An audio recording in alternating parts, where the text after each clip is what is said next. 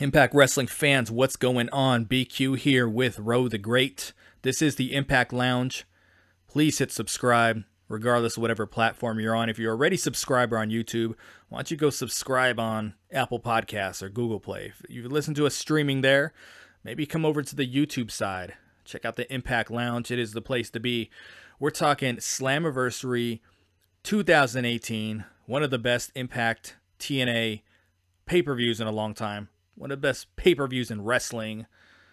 Ro, what do you got on what what do you grade Slammiversary on a scale to ten? What did you give it last night?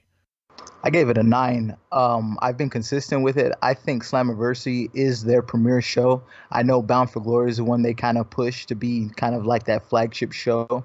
But yeah, I gave it a nine out of ten. It was just flawless, and you know what?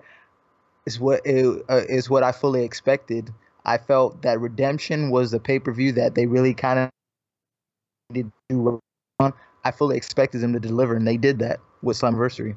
Yeah, Redemption was was we talked about this texting more of a B level show. You know what I mean? It was just they didn't really swing for the fences of Redemption. I think the goal was just to put on a good wrestling pay per view, and they they did that. This time they took it to the next level. And I'm in agreement with you. I know that they say Bound for Glory is, you know, the show, but Slammiversary is typically better than Bound for Glory. At least it has been for the last several years. I think, you know, I think it's just the middle of the year. They're more focused, more motivated to put on a good show because in the last quarter of the year, regardless of what business you're in, the last quarter of the year is always the down quarter. And I just feel like they go into Bound for Glory not as uh, not as motivated but yeah, yeah, yeah, but yeah, this show was uh this show was killer. Let let's get into it. Let's just start breaking down the matches one by one. Opener for this thing was the four way. So Rich Swann was not available, suffered a concussion at MLW. It's crazy that Impact. Let let's talk about this real quick. Um, it's crazy that Impact had people, and I, I understand they're not trying to stop their money, but had wrestlers competing this close to a pay per view. Go back to last year, Bound for Glory. It wasn't last year, I'm sorry, two years ago. The Grand Championship Finals was supposed to be Drew Galloway and Aron Rex. Drew Galloway gets hurt. Aron Rex goes on to take on Eddie Edwards. And there was a tournament to decide those two guys. So fast forward to now, Rich Swann, who I think is the I think he's going to be a standard bearer for the X division. I think he's the guy that's like we watch him and we were we're reminded of what the X division was. That's that's my thing with him. But he he was out. Um, but what do you think about that? About them competing so close? Because I think Su Yung even wrestled the the Saturday before. I mean, there were people on this card wrestling the day before Slammiversary. I think in the case of uh, Rich Swann, I wouldn't have too much of a problem with it because you think about it, he barely just got on board. So you know you give him a pass. But even you know you, now that you mentioned with when we had the grand uh, title tournament and having somebody like Drew who had been on the roster for some time, I, I, I know that Impact what they're trying to do now they really don't want to stop the wrestlers from working shows, but they got to look at you know the from their point of view as well. You know they're getting ready to put on a, a pay per view and you have people advertise, you need them there. The best ability is availability. So I think that's just something that they might have to restructure down the road. Yeah, and uh, he got injured wrestling for MLW. From what I understand, they have several Impact stars on their shows, but Impact's not allowed to use their stars. So, you know, it, it's weird that you would just allow him to work. But I guess Rich Swann is not a contracted wrestler for Impact. You know, he's doing per date, so maybe they don't have control over it. I don't know, but the replacement was Petey Williams. A lot of people were plugging for Dezmond Xavier, but Petey Williams makes sense. I mean, it's in Canada. They let him come out first, got the uh, the huge ovation. So it's Petey Williams, Johnny Impact, Fenix, and uh, Taiji Ishimori. Did this meet your expectations for what you expected? I think it would have been better with Swann, but it was still really entertaining for me. What'd you think?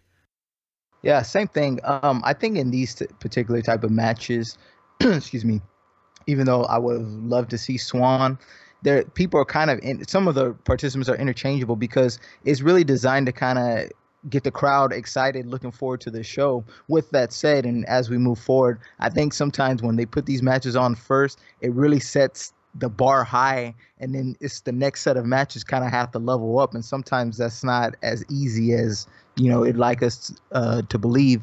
But yeah, with this said, um, I like that they teased us. There was points in this match where I actually thought Fenix was going to win, and uh, um, obviously Johnny Impact gets the W as I suspected. But yeah, overall, this is a great uh, opener.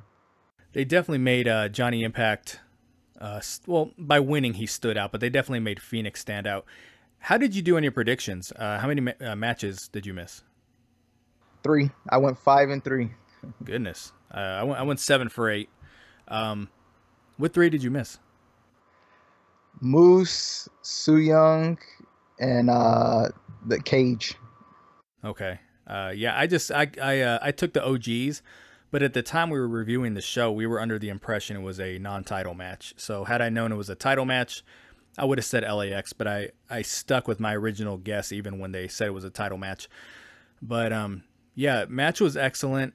They they played up to the crowd. The crowd was really really hot for it. They were pretty much hot for the entire show, and it did what it was designed to do: get everyone excited, fired up, and you know, there's the rumors, not the rumors, not official rumors by any stretch, but some fans saying, I think uh, the Bullet Club's going to show up during this, and I think uh, Killer Kross is going to show up and attack Petey Williams during the match. Like, no one's no one's coming out during the opener especially when it's like an X Division style match that's designed to get the crowd going. We're not going to see an overbooked finish for something like that. But uh, they did excellent. And would you say that, you know, Fenix was kind of the all star here? Yeah, he showed me something because I, you know, normally you think about when we get these matches, a lot of times they use it, it's uh, Aerostar, if I'm not mistaken. And uh, but Fenix, man, I I hope that they you know decide to keep him in because since we've seen him on board, I know a lot of times since he's uh is he real life brothers with Pentagon or is that just something yeah, that they play? Life. Yeah. Okay. You know, we just seen that that alliance, so I'd really like to see him mix it up in the X division a little bit more because he showed me some stuff very impressive. Yeah, I hope we see him more. And I was really under the, under the impression for a long time that guys like him, Pentagon, you know, that they were like loan on rental, you know. But then, but then you think about it, because you know some of the the haters like to say, well, half of your rosters from Lucha Underground. Like Lucha Underground isn't even a wrestling promotion; it's a TV show that you know maybe records a couple weeks out of the year. They didn't record it, uh, do television at all last year, as far as new television. So yeah, granted, it's something that you know runs for a season, but that's not Lucha Underground is not a full time job. Like that's not a full time wrestling promotion. So um, I think when we see guys come over like Pentagon and stuff, I, I think they're going to be remaining on the roster. I don't think it's like a, a rental for two sets of tapings and then they head back. But uh, we'll see. We will see going forward. Um, but yeah, this was excellent. Did what it was designed to do, and uh, I think we just going through this match, you just knew we were going to get a great pay per view. So after this match, second match on the card was Allie versus Tessa Blanchard. Allie comes out debuting a new ring gear, which I think was really necessary. The uh, the pink bunny one wasn't gonna fly anymore, and then she kind of came out recently, almost looking like street clothes a little bit. She had the the uh, Allie t-shirt on and and black jeans, and I, I kind of figured that's what she was gonna do for a while. But this was a good opportunity for her to debut some new ring gear, and I think it will work going forward. I liked it. I think she looked good. Um, Tessa Blanchard looked good. Um, what did you think of this one? So I want to say, as I was watching this, I think if we were to watch it a second time, we'd probably appreciate it more than the first time. And you know, hopefully the IWC didn't ride Allie too hard on this because obviously Tessa Blanchard, um, I'm gonna say she's a bigger name. You know, granted, uh, doing the Mae Young thing and just for her her background and everything, even though she's been in the industry a lot less. But she, you know, she's she's uh, one of the biggest stars, upcoming stars. I hope the IWC didn't ride Allie too hard here. Uh, she, it started off sloppy, and this was the first time these two have wrestled. I'm pretty sure ever. So I'm sure there was a little bit of um, getting to know each other, you could say, to kick off the match. And overall, I had thought um, I thought the match ended really well. I just think it started off a little slow, but if you look at the girls' expressions at the very end, they were smoked. They were tired. They they did beat the crap out of each other. Um, Tessa suplexing Allie or doing the front suplex onto the railing. I mean, they they took some chances. The Allie Valley driver on the outside, and uh, there was the Hurricanrana from the top rope. We've never seen Allie take a move like that before. She landed on her head. I hope she's okay. Uh, it looked very ugly. There was a couple ugly spots, and it, it seems like the last few Impact pay per views. There's always a, a, good handful of botches. Um, you know, people are trying to take it to the next level, and and uh, sometimes it doesn't work out. But it's probably been like that a, a good like four pay per views in a row. But I thought overall the match was better. I think we would appreciate it more watching it the second time around.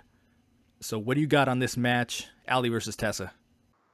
I the first thing I want to say, I thought, and you tell me, I thought this would have been better served to go on as the opening match and then have the uh, fatal four way, only because I felt the the uh, fatal four way kind of set the tone and you kind of knew whatever was following up because this this was just mainly just a, a one-on-one match a grudge match you want to say because they didn't it wasn't really like a heated feud they really started uh, interacting with each other a couple weeks ago. But as far as the match it seemed like it started to pick up towards the middle and towards the end.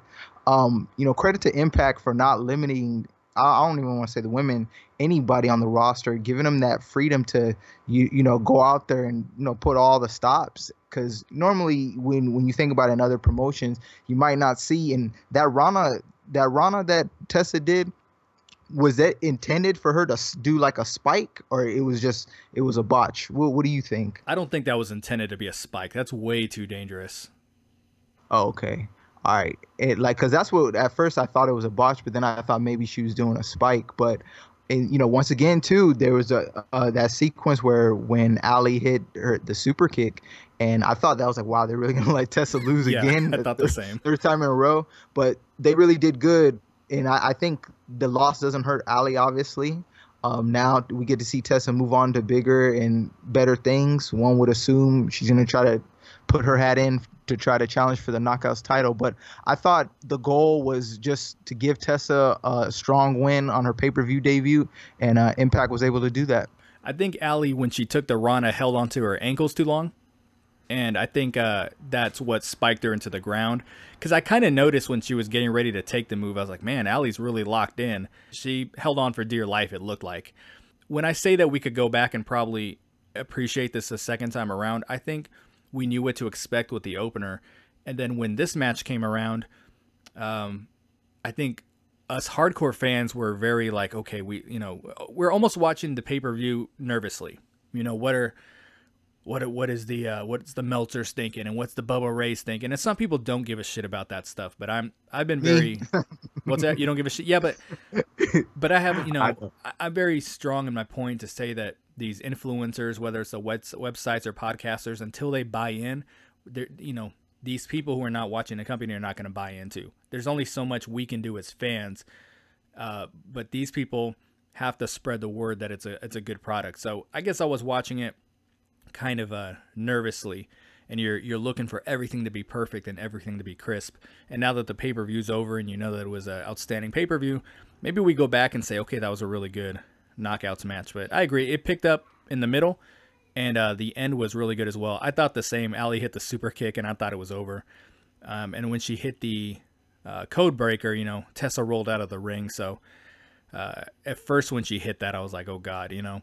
Um, I like Allie better, but you know, the, Tessa. If we're talking from a, um, you know, just a a booking standpoint, we're not experts at that. You know, Tessa needed this win, and Allie it doesn't hurt Allie. Uh, anything else on that knockout encounter? I think the only thing you could probably say, or at least what I'd say, is it kind of sucks like the way, and I understand because during the time they didn't have Tessa signed, you would have kind of liked to see maybe Tessa versus Allie as that being Tessa's second match. So like maybe she had feuded with someone before facing Allie versus it being the fir- her first. But yeah, it, it gave Tessa a strong win. Um, I'm interested to see which way they go with Allie now uh, I, I, like that. It seems like they changed her character a little bit, so it'll be interesting to see what direction they have they go with her moving forward. And as I've said before, they they need to add some new knockouts because if you look at the website, you know there's a decent amount of knockouts, but uh, several of them cannot compete, or they're not competing for whatever reason. You know, like Diamante's an example. You know, she's, I think she's cleared now, but you know, what is she doing? I think she did wrestle an Xplosion. It just hasn't come out yet. I'm uh, pretty certain of it because I saw a picture online. Uh, and I, I, thought it said Xplosion in the background, um, but I, I, was pretty sure it was a Diamante match, not LAX. So we will see. But I, am I'm, I'm in agreement. It's interesting to see what they do with Allie going forward. I guess you got to be careful with Tessa because you don't want to throw her at the knockouts title picture too soon. But I, at the same time, do you do a Tessa versus Su Yung angle? I don't, I don't really think so. And that's why, and I've repeated myself a hundred times on this. That's why I really thought the doing a Legend Killer style uh, gimmick with with Tessa Blanchard for a little while would have given her something to do, and the matches would have mattered. But they got they need to stack up the uh, knockouts roster a little bit better. Um, and it seems like she's never going to get her redemption against Madison Rayne, so we'll get to that a little bit later. Third match on the card Eddie Edwards took on Tommy Dreamer in a House of Hardcore match. So, halfway through this match, on FITE TV on the app, people were saying this pay per view is wasted my money. This is bullshit. Da da da da. Now, the opener was good. People were very indifferent on the second match, and then the third one, I actually did not like this match. This this was probably the one match on the card that, uh, when I w- go back to watch a pay per view again, maybe I'll have a different evaluation of it. I didn't care for this. I thought it was um kind of hokey. I thought it was safe. I thought it was PG. Um, when you got guys like Sami Callihan really bleeding later in the show, and you've got Eddie Edwards from what I assume was fake blood, which normally I don't care about that. I I'm, let me say that I'm not some mark that's oh he used Kool Aid, he did this and this. I really don't give a shit. It's wrestling. Wrestling is not real. But if you're gonna go all in later in the show with the physicality, why are we playing it so safe with this match here? I thought the spot with Tommy Dreamer hitting him with the ECW belt and then uh, hitting him with a drink a little bit before that, I really popped for those. I thought that was good. You know, kind of popped for the staple gun thing and uh, then realized it wasn't really real, but you know, what is? It's wrestling. But overall, I, I just thought the match was safe. I thought this was nothing different than we would see on an episode of Impact. And Eddie is the guy. I cannot wait to see what the hell they do with him going forward because with the finish of this match. I liked the finish; it was flat, but I liked the idea of it. Um, Don Callis had no clue what that move was called, and it just it, the commentary was really awkward when he hit the uh, Boston Knee Party with the chair. But there was the flaming table, and it was it was. Why even do it? I shouldn't even call it a flaming table. I should call it a table that had some lighter fluid on it. You know, they teased it, but this is Impact. This isn't WWE. Light the damn thing on fire you know, at least give us the um, the impression that maybe someone is going through it. But I just went into this thinking, okay, someone's gonna bleed. You know, we we seen last time Eddie wrestled, Sami bled a lot. He wrestled Tommy Dreamer in Hard, House of Hardcore. He bled a lot. So you're thinking this one is just gonna be balls to the wall, and they could have done, they could have gone so many different directions when with with Eddie. So Eddie wins the match, which I thought he would, and then afterwards there's the awkward handshake segment and alicia comes down and, and you know they could have i thought alicia looked amazing by the way. But you know alicia could have helped eddie turned on eddie um, pretended to help dreamer and then turned on him or or there was just so many different things they could have done rather than hey alicia go out there make him make him shake his hand uh, and then they tease after that Tommy Dreamer is going to go after him, and then he gives him the kendo stick. So they did a passing of the torch, and as Eddie Edwards held that kendo stick, I know I'm rambling on for a long time here.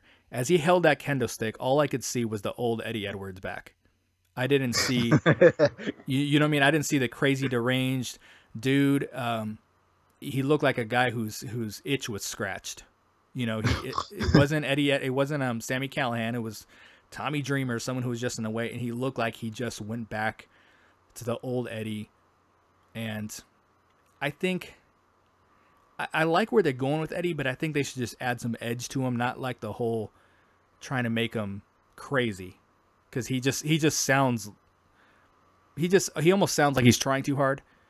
You know, I, I just I just want him to have a little more edge to him instead of trying to sound deranged because we just know he's not, you know. Um, so yeah, I rambled on long about that one, but uh, I just I stand by the fact I really just didn't care for it. What do you uh, what did you think about the House of Hardcore match? you know, once again, I think following up the Tessa and Allie match, I kind of felt like maybe they should have done another match or had a segment because that was the one thing where I was surprised about this whole pay per view. We didn't have any type of segments and no Eli Drake too. So I thought maybe they could have had a segment before having this match. With that said, I feel it was okay, but I felt like they held back a lot. I thought this feud as it was, it wasn't really like a blood feud because you think about it, all it stemmed from was Tommy Dreamer trying to hold Eddie Edwards back from, you know, trying to murder Sami Callihan.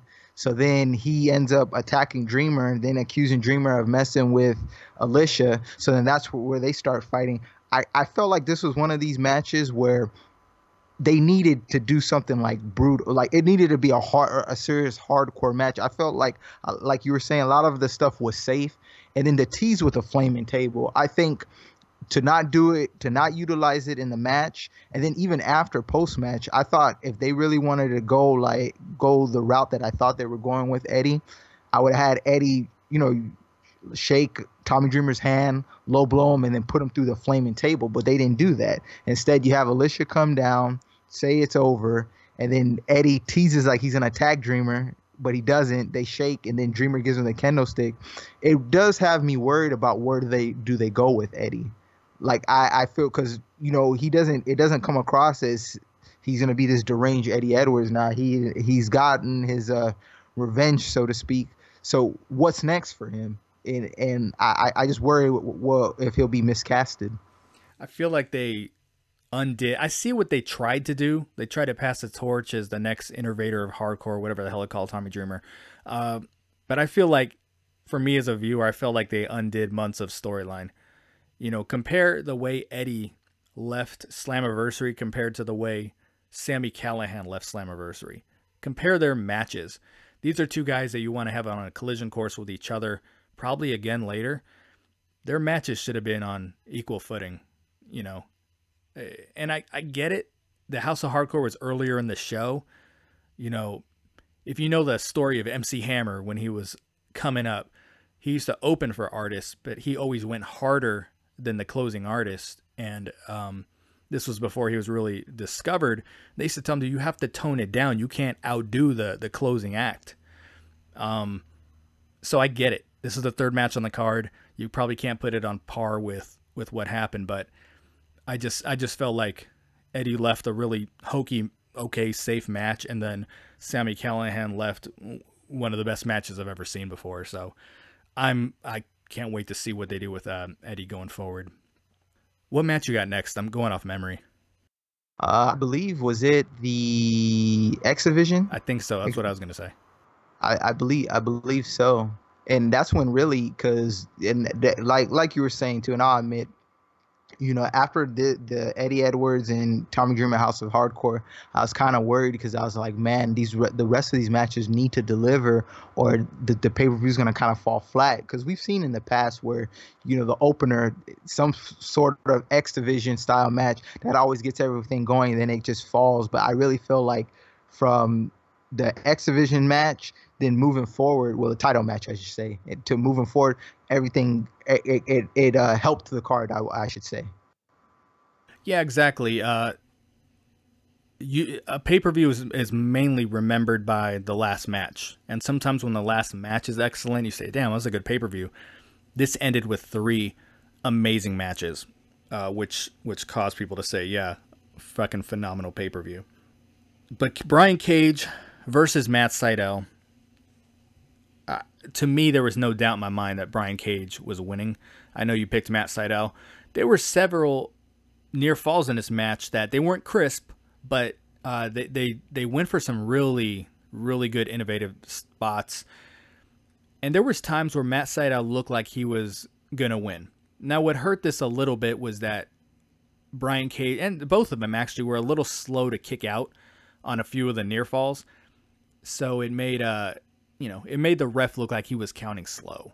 So that was my only real complaint about it. But I think my favorite was uh, Matt Sydal jumped off the top rope to do whatever. Brian Cage catches him like in a suplex position and is going to do the drill claw, but then Matt Sydal rolls him up. I mean, they really did. They really played this, you know, small guy versus big guy thing very well.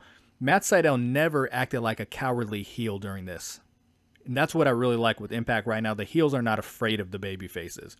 It's I hate that when you see a a wrestling show where someone who's been a uh, like career babyface turns heel, and then the next episode he's you know hightailing it out of there, running from the. It, it's ridiculous. Matt Sydal never ran from Brian Cage, and it didn't come across like big guy versus small guy. To me, it kind of came across as, as two people who were you know equal. And my, Matt Sydal was a great champion, and I don't know if you saw this. He's revoking his rematch clause. Brian Cage does win this. He's revoking his rematch clause this Thursday on Impact. I know you're highly critical about the rematch clause because some people get it, some don't. You know, uh, the knockouts never get it. so, um, what do you got on uh, Brian Cage versus Matt Sydal? I'll say this: my opinion changed because you know I had been consistent with I thought that Brian Cage, I would, you know, I thought he should be challenging for the world title. Well, not challenging for the world title, but wrestling more in the heavyweight division side of things. But I think in moving forward, I feel good about him working the X division because I think it, he showed in this match like I would have never in a million years thought Sydal would have gotten as much as offense that he did was able to get in this match. And those counters, like there was one he had, I want to say he got him for the drill claw. And there's one where he uh, got a Rana out of it. He reversed it into a Rana, and it was just. And then he was able to hit. He hit some type of um, I don't know if it's like an angle slammer. I don't, I don't know what it was, but the point that I'm just trying to make is, I Brian Cage did enough, or the way that they designed this match, they did enough where it gave Sydal a punching a puncher's chance. Even though in our heart of hearts we knew Brian Cage was walking out champion, or at least most pe- people felt that way, it wasn't one of those things where he just went ran went in there and just ran through Sydal. They made it an honest enough match where it looked like he had a shot so I think moving forward, him in the X division, I think it'll be fine as long as they lay the matches out where these guys that are much much smaller than him, they make it somewhat believable that they have a an honest chance against Yeah, you know, him. at at uh, Redemption, you know, there was that opening six way match with a bunch of X Division guys and Brian Cage, and we thought he was just going to throw people around all match, and it was a competitive match. Brian Cage won like we expected.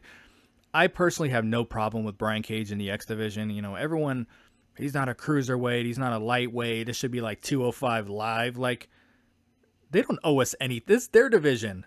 They created his division. They create the rules, not us, not the fans. You know, and the X division at this point needs to be a mid card title because we don't have one. Now, if they introduce one later, you know, maybe you play by those rules a little bit. But, you know, right now that's that's all we got. So if people can't uh, wrestle for the world title, they got to wrestle for something. And right now, they're bringing in a lot of guys Yeah. who are more um, in ring savvy and could probably work the X Division style if necessary.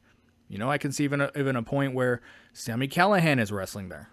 Yeah, I, I, I thought about that. I think you know, even, at least from my opinion, I think the reason why I had always felt it was their cruiserweight division is if you look back the history, this stems back to when they were associated with uh, NWA. Outside of Samoa Joe and then later on Abyss, most of the guys that had, were champion were cruiserweights. Like they were guys that it had WCW still been around, they'd be in the cruiserweight division. So even though at during that time it was treated like a mid card belt, the only people who were winning it were essentially cruiserweights. But then the one thing I've started to realize too with Impact and one thing they've been able to do, they really don't pigeonhole anybody. That now you might have guys like we look at somebody like a Austin Aries who yeah should, could be uh, uh, competing in the cruiserweight division, you know multiple uh, former X division champion, but you know, if you got what it takes to mix it up in the main event, and you know, people will people will buy you as that main event talent. They're giving people a shot. So I think that like this match, it kind of opened my eyes a little bit, and I could see them expanding some, and I could see them having a Sami Callihan. Um, I mean, I don't know who else after that, but you know, I could see them starting to branch out a little bit because, like you said, not everybody can challenge for the world title, and we don't want no scenario where it becomes hot potato with the world title. Definitely not. And if you think back at, you know, you know the GWN loves to show us AJ Styles.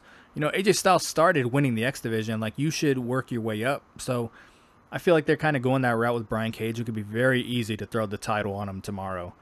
And I'm sure um, I'm, I'm sure they're they, they really want to and they're they're really fighting themselves. Uh, Dixie would have had the title on him before he even made his debut. before he signed the So- contract. I, I will say, Yeah. I will say they just my only fear, and I hope they don't go this route. I'm sure we're gonna get a couple of big shows coming up. You know, just buy us some time until we hit Bound for Glory. I just don't want them to put the X Division title on Brian Cage only for him to invoke the option C and, and challenge for the world title. I, I hate when they do that cash in was the X Division championship. I thought the first time when they had Austin Aries do it, like that was fine. But then, you know, you see everyone doing it, and I feel like it devalues the title. Agreed. I guess there's there's a way of doing it, but now with this new X Division title, it's a way to start f- uh, fresh. So hopefully they don't go that route. Speaking of titles, next match on the card is the Knockouts Championship match: Su Yung versus Madison Rayne. So this was one of the match pe- matches people were down on a little bit. I wasn't really down on it. Um, was it you know crisp? Was it uh, maybe not? You know, but this match actually had heat behind it. Um, it started off very manufactured, you know, the way that they threw Madison Rayne in there. People were like, why is she in this title match? And by the end of it, it ended up being a great build. And, they, you know, they played into Su Yung playing mind games with Madison Rayne. And those mind games did come into play with the match, you know, namely with, with the undead bridesmaids that walked up. I actually found it hilarious when the two walked up. So she was going to go for cross rain, which I'm convinced Josh Matthews calls it that. And that's not the name, but she was going for it. And then the undead's bridesmaids come up and she kicks them off the apron and they just drop. Like it's like a playing a, a regular Nintendo video game when you're a kid and someone just walks up. You know, they're not really going to do anything to you. You just kick them and they just fall down and they don't get back up. They don't even try to get out of the way. So I actually thought that was hilarious.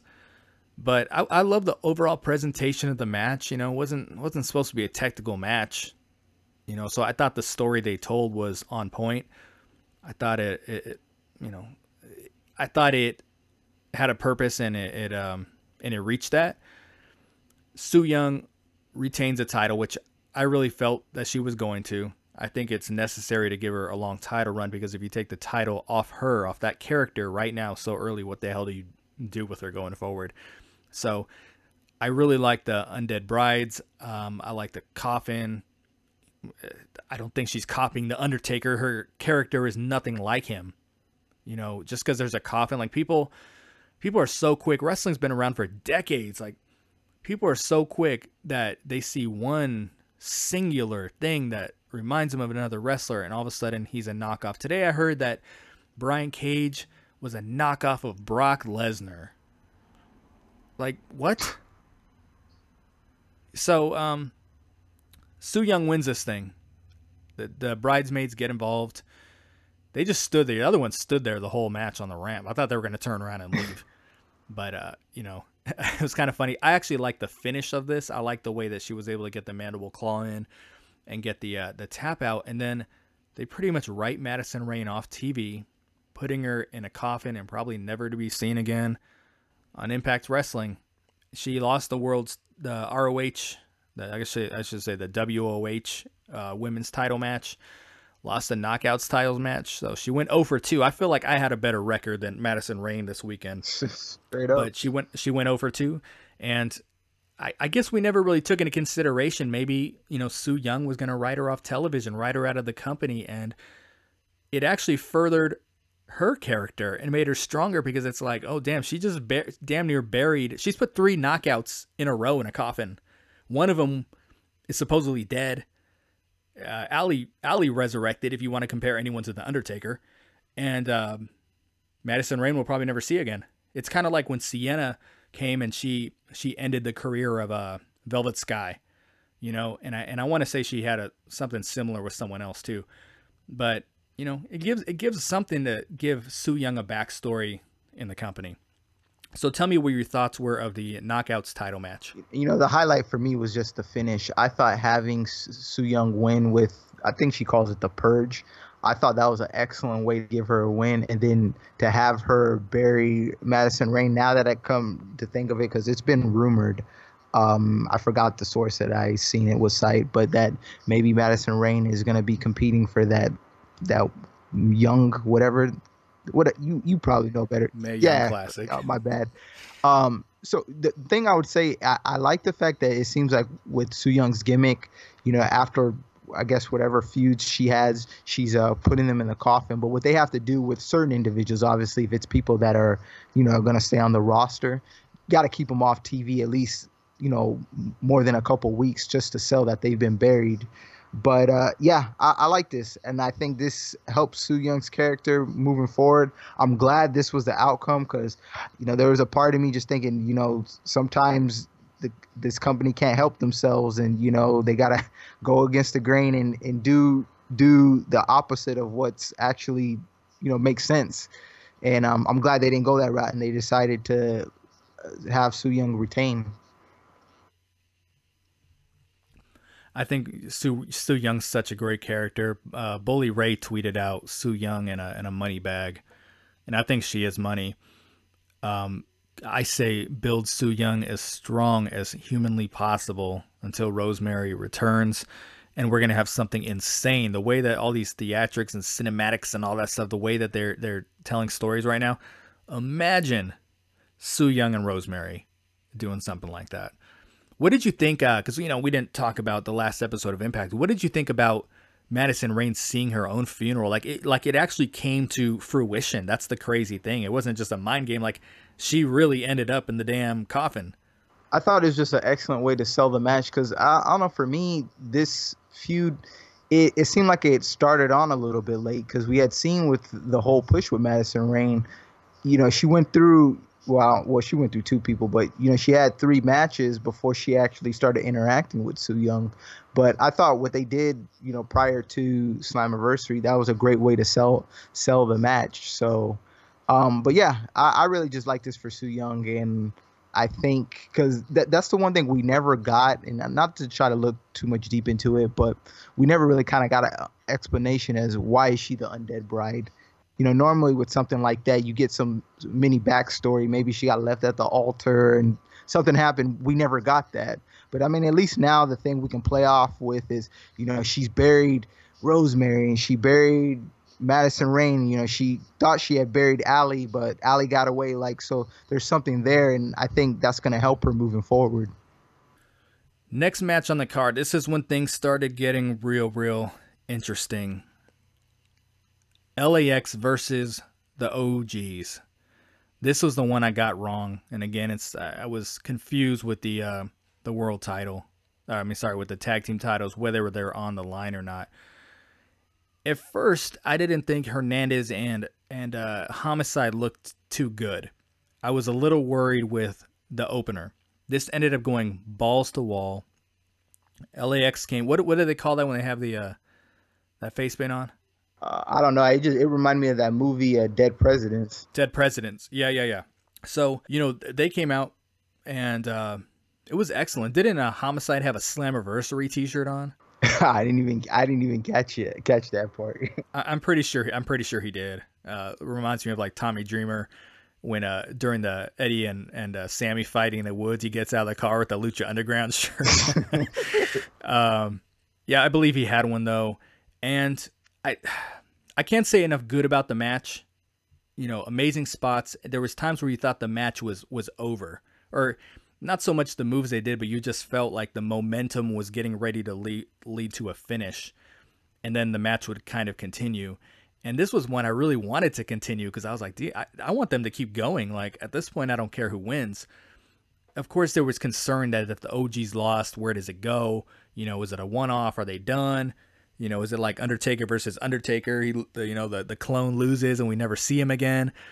So I was, you know, there was concern with that. It looks like the OGs are here to stay. The the the, the match was great. It was hardcore, and even though LAX gets the win, the story continues. Kingston comes in. they uh they beat these guys down with straps. They they even uh Konnan took a strap and and uh you know uh homicide not homicide but Hernandez was you know he was giving them some pretty weak stomps there. But you know Konnan is someone who's had hip hip replacement surgery and everything. You do got to be careful with him a little bit.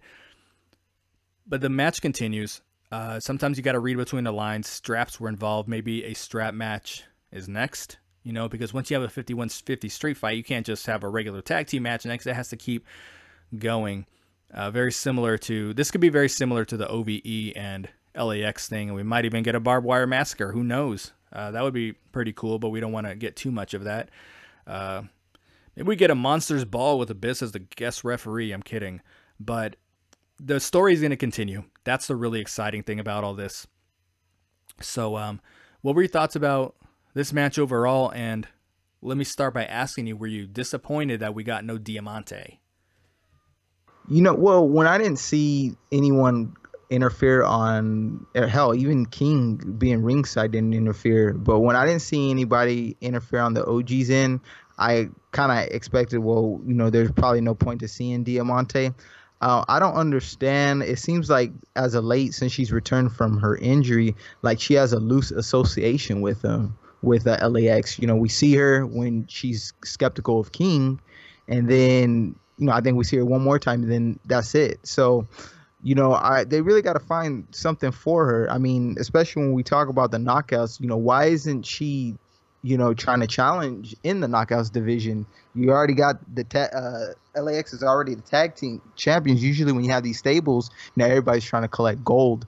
So I'll, I'll, I'll be interested to see what they do with her. As far as this match, I want to say by far the match of the night for me. I really think before I even dive in, I think Santana's going to be a star. Um, hopefully, it's not something anytime soon that they decide to break LAX up. But whenever they decide to do, that guy's going to be a star for the company. He just has has that it. I mean, you know, and and Ortiz did well in this too. And you know, credit to the OGs. I was skeptical about how they'd be able to deliver just given their advanced age, but this really, you know, they both put on both teams put on an excellent match, and now the food st- is going to continue, you know, judging by the post match angle. So yeah, I don't, I don't know what match they can do next. I was trying to think back. I know they did one uh, with Team 3D a while back. It's the the name of it's uh I can't can't grip it, but I'm interested to see what what type of match they do next. But this is far from over, obviously. There were some uh, holy shit moments in this. You know, homicide diving to the outside, then Hernandez jumping over the top. I mean, these guys just went all out. You knew they were. You knew LAX was going to. The couple pay per view matches they've had, they've been insane. They've uh they've gone all out. So you knew this was going to happen. It always seems like LAX is in these street fights and these gimmick matches you know, it, it just seems like that's always where they go with it. But maybe maybe that fits the the gimmick. I mean, they're supposed to be from the streets, so. But this was excellent. Uh, it was my number two match. My number one match of the night was Sami Callihan versus Pentagon Jr. This was brutal. It was bloody. It was ugly. They were all over the place. There was chairs. There was tables. I think there were tables, uh, but there was chairs. There was uh, you know, metal spikes. Sami even tried to rip the mask off. He said, "I'm going to take this off now. You know, if I win, that's that's just a consolation prize. I'm taking the mask off now." Again, compare how Sami Callihan le- left this to how Eddie Edwards left it. You know, Eddie Edwards, they could have probably uh, made him the number one contender very easily for Aries after this, but I think he did take a step back. Sammy Tel- Sami Callihan took steps forward and uh, just I, I thought the match was just amazing. It was flawless. I think the only real real complaint about I didn't really care about OVE running in real quick. I mean, they should. They both had broken arms. I think my only complaints were when uh, Pentagon, I think he hit the package pile driver or Pentagon driver. I don't know what he went for um, on top of the chairs. Like I thought that should have been the end of the match. There were some really good near falls, and I'm all about that. But that was pushing it a little bit for me. However, when Johnny Bravo got his arm broken, I freaking thought that was great. Uh, just that Pentagon was blind. Right when he's blinded, you think, oh shit, he's going to lose the match. but they turned that into getting his hands on the referee. Johnny Bravo is a wrestler on the independent circuit in uh, BCW, so you know he can take a move like that. That's why at uh, LU versus Impact, you saw I forgot who it was toss him over the top rope, like it was a battle royal. You know he can, he can take spots like that. He is a wrestler, so that was just great. And um, the the match, the, the ending ended up being good. I wasn't real big on Sami no selling the the broken arm. There was a moment where they you because of a bad camera angle, you could see uh, Johnny Bravo. You know he Sami tried to pick him up and he had to fall and brace himself with his quote unquote bad arm. Uh, so that was that was some bad ring awareness, but you know he completely no sold it, and uh, that's why I wish that wasn't the end of the match. I, I wish they would have done it with the table spot, but Pentagon wins. Huge emotional moment. The head shaving. I was thinking Scurll was going to come out at this point too. I, that's always how I thought. I was like, Sami's going to try to take off, and Marty Scurll is going to chase him back. That's what I thought. That would have been pretty huge. Because um, at first he acted like he was going to let him cut his hair, and but it was Fenix, and that that's fine. Makes all the sense in the world. Shaves his head. He's crying during it. What do you got on this one? No, first off, I had and I had tweeted this. I said that lets you know what the company thinks of Sami Callihan that this match got the slot before the main event. You know, he, Sami Callihan's been big time for Impact. He's been a good get this whole year.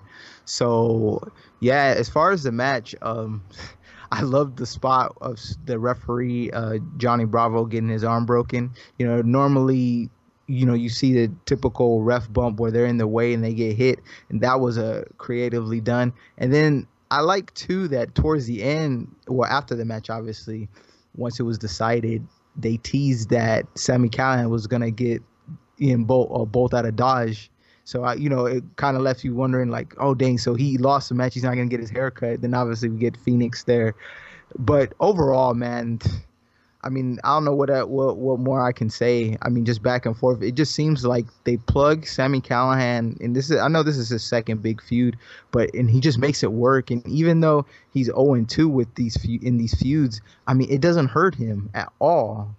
And uh, Pentagon, uh, the the way that they've presented Pentagon now, it's unfortunate they weren't able to do this while he was champion. It seems like more now we're kind of getting to see more what, as far as audience who aren't too familiar with his work in Lucha Underground who are seeing him now, you know, we're kind of getting more acquainted with him, and you know, he's a big deal. So you know that he, you know, it was great on his end as well. But yeah, this, this, this, this was one of them. It was, it was, it was some nice stuff. So if you thought Eddie Edwards snapped, I can only imagine Sami Callihan will be taking his character to the next level. I don't know who they can feud him with next. Uh, maybe they, they find a way to keep it going with Pentagon a little bit. You know, obviously Fenix gets involved. He's got OVE by his side. I'm sure Sami's not going to show up for a couple episodes. OVE surely won't. And, you know, maybe Pentagon gets a third partner and it kind of turns into a six man ordeal. Seems like that would be going backwards a little bit, but we'll see. Uh, very interesting to see. I just can't wait to see what's next for Sami because I know he's, he's going to deliver. He's going to kill it. Main event of the evening Moose challenges Austin Aries for the Impact World title. I have been saying this for as long as I can remember that pro wrestling has lost its ability to create the big fight feel for the main event. Boy, did they ever, ever pull it off this time around. We, we've, we've, you know, spoken quite a bit about the build with the video packages, keeping their hands off each other. But was that going to lead up to a big fight feel, big big moment? I thought so. I thought the match, just like I said, I thought it over delivered. This is an example of what I always say about under promise, over deliver. They never said, "Hey, this is going to be the biggest world title match you'll ever see." You know, and this really was one of the best world title matches they've delivered in in quite some time. They just they kept it low pro, and they both of these guys killed it. Moose looked great. I could have bought Moose winning this match. I really could have you know, throwing Aries into the crowd, uh, the stuff they did on the outside with the brainbuster on the outside, and there was another spot right before that that was pretty insane too. But I, I thought these guys laid it all on the line. They had the Bruce Buffer type announcer, Curtis Granderson with the belt. It, it felt big fight feel to me. It felt main event. The crowd was into it, and I've got no complaints about this match. I thought it was the third best match on the card. And I, I, felt I felt from a very early time in this build, even though we didn't like the match when it was announced and how they selected him as the number one contender, I really had a feeling this match was going to deliver. I really feel that it did. Uh, Moose did not win, but the one thing you know, um, my boy Liam, I covered this on the channel, wrote an article about Moose winning in defeat. This I think Moose moves to the next level now. I, th- I think he went to the next level. Obviously, still got to work on the promos, things like that. But uh, I, I, think Moose Moose took the next step, and I think you got a very sympathetic loss here. You know, I, I think we're all bigger fans of Moose after the match. I think the worst thing they can do after this is give him the title on a uh, taped episode of Impact down the road, where everyone knows it's coming. I think I think when Moose gets that title win, I, I do think it needs to be a pay per view or some kind of live episode. But after that big fight feel, you know, they, he can't just get it in a throwaway match later down the road. Uh, what do you think about the main event? Yeah, you know what? Moose showed that he could belong, that he belongs in the main event. I think I thought this was kind of like a trial for him in a sense. And um, I was impressed by Austin Aries because the whole time I'm watching this match, I'm like, there's no way in hell he's going to be able to hit the brainbuster on him. Not only he was able to hit it on him, he was able to do it twice. So, uh, and you know, Austin Aries did his thing as well. I was surprised by the finish only because I thought you could do more with Moose as champion than you could do with Austin Aries. Only because since you look at the company right now, we only got really two, you could say main event baby faces, and you know everything else is really heel heavy. So then that's what it had me wondering too. I was just like, it would have made if they were gonna do the title change, they should have done it now because I was wondering like if they have one of these uh, special shows, you know, I, I, don't know what would be next, and if they decide to do it there, um, you know, it'd been better served to do it on pay per view. But with that said, I've been a firm believer. Whenever they decide to put the world title on Moose, I don't think it's going to be a long reign. So I think had he won here, at, at Slammiversary, I think he would have lost it between now and Bound for Glory. I, I, I it doesn't, uh, he doesn't strike me as somebody that's going to help hold the belt that long. You know, nothing against him. I just don't, you know, just don't see that. And you know, the one thing, and not to get too much off a topic, you know, the one thing I've noticed with Impact, if you look at a lot of the champions, there's not too many multiple former champions. You think about it, when somebody loses the belt, like that's pretty much it, and they move on. I mean, you, you look at someone like Austin Aries, LAX. Um, I comes to mind. I know she's uh, you know, not currently wrestling with the company right now, but you know, there's only a, those are the only couple people who are multiple time champions. It seems like a lot of people once they win the ti- title, or should I say, lose the title, they're kind of out of the title picture. So that's something that down the road I'd love to see them be able to do and give us some long reigns with some people. Because I, I think you've stated that was the long the current longest Impact World Champion is what is Bobby Roode, right? Yeah. So you know maybe it you know if you don't have anyone in mind that you know you're ready to take that next step, you know maybe give Austin Aries that opportunity. I mean I don't know, uh, but I, was just surprised though because I just wonder who's the next challenger now. I guess you can get pump out one more match out of Moose and Austin Aries, but assuming Moose comes up short again, then you know who else is there to for him to face babyface wise. I think it's important to have a bunch of a, a roster of wrestlers who may only have one title run or title reign or or none. And I almost went through this whole podcast without name dropping WWE, but I'm going to do it real quick because I, I need it to make my point. It seems like everyone on that roster they, they're buying into the the social issues of everybody gets a participation trophy. You can go up and down that roster unless you you know just came to the the, the main roster, whatever. Everyone's had a title. You know, even those douchebags. Uh, I think they're called the B team or something, of the tag team champions right now. Two jobbers. You know, everybody holds a title for them. So, so they literally they mean nothing, and it means nothing. There's no passion when they win it. There's no passion when you know the Zigglers and Mizes win their umpteenth Intercontinental titles. Who the fuck cares? You know, so when a guy like Moose kind of get finally gets that win, um, the way we felt when Eli Drake won as fans, uh, not so much the crowd because it, it was, Orlando, you know, going up and down like it's gonna mean something when these guys win a title, and it's gonna mean something when when they hold the title. I agree, Moose, he'll win it. I don't think he'll carry it for a long time. Uh, I know his goal is to be the longest reigning champion. He said that on our interview with Adam. That's definitely not going to happen. I could, I'll uh, I'll bet anything on that. But uh, Moose showed he belonged, and um, now he just needs to take the next step promo wise. We didn't get a like a D'Angelo um, interference or anything. He he played his role in an episode of Impact perfectly. You know, he's, he's pretty much out there as the messenger, and and just the, the main event was great. So I asked you at the very beginning what you gave it. You said a, a nine. I, I give about a eight point five. You know, maybe a nine. This I, I just really didn't enjoy that House of Hardcore match. Uh, you know, I guess I would have been okay with the match had the finish just told a better story, you know, other than just all right, well here's here's the kendo stick, passing the torch. Good luck. I I wasn't feeling it, not even for a second, but overall phenomenal pay-per-view. Um, the Ryan Satins of the world, the the Bubba or the Bully Rays, um, all these guys stepping up, saying great show. You know, uh, Jim Ross did, Chris Jericho. So some big guys with some big followings.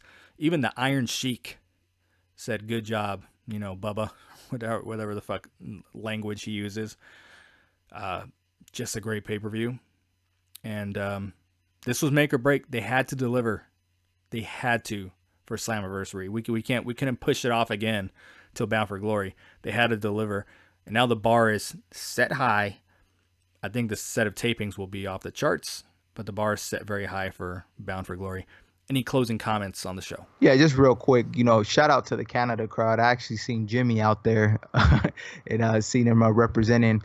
Um, the crowd really helped make this show excellent too, because they were just, you know, from the Impact Wrestling chance to just, you know, everything else as far as in the matches, they were fully engaged, and I think that's kind of something that's been missed in Impact. So credit them. I will say this, it just closing out, and I, I get what you're saying and stuff, and I've learned to understand like you have to understand uh, some of these people who have these big followings, you know, they kind of have, you know, they're the voice of the people for some. So what they say, people are going to follow that. The thing that I just annoyed me a little bit was seeing all Impact's most detractors you know, who normally criticize every little thing they do, want to give praise, and then all of a sudden, oh well, let me watch again. You know, finally I'm gonna give it a chance. Like, you know, we don't Impact doesn't need the pity. You know, they they put are putting on a product. You know, they understand the the the bad history or some of the bad history that the company's had, and they're trying to rewrite that. You know, Rome wasn't built overnight. You know, it took time. And what they've been doing all this year is just giving us Impact fans first, you know, the things that we want. You know, uh, what's the word I want to use? You know, easy, easy to watch programming. You know, storyline. You know, storylines that make sense. You know, d- matches delivering. All, all of those things. You know, gave us a network. All these different things and stuff. And I, I don't know, it's just it just annoys me to hear, you know, see someone all of a sudden, you know, who trash it. Hey, you know, I've shitted on Impact, but you know what? You should watch it. Oh, okay, yeah, yeah, we should watch it because such and such said it. Like that's why when you had said, like, I know some people don't care. Like, I don't care what Bully Ray, Solomonster, all of that. Those guys don't mean shit to me because if I'm gonna watch something, my I go by my eye test, you know, and if it's something that's good, because there's times that they can tell you something's good and it's ass you know, and and, and you know, I, and that's when I, I I'm able to. I guess all I'm just trying to say is. I, I think more people they need to be able to make an opinion for themselves. You have to understand sometimes, and even with us when we review the product, you know, there's gonna be times that people don't necessarily agree with us, and that's okay. We're not looking for people to necessarily agree with us. We're just giving our opinion, and we we welcome people to give theirs. And I, I just kind of wish people would be able to tune into some of these podcasters who might be negative towards certain things and see for themselves to see if they can relate to it versus oh well, I heard what such and such said and you know such and such said it was trash so yeah it's trash. And someone else sees it's trash yeah it's trash and then it becomes a big old group thing like yeah it's trash. Very well said. Good uh, closing statement. Last thing I want to I want to say the moose trying to hit the spear and then uh, Austin turning that to the last last chancery was really a cool a cool spot, good moment. So, thanks for listening for Ro. I am BQ. Please subscribe to the Impact Lounge. We do this each and every week. Talk to you soon. Peace.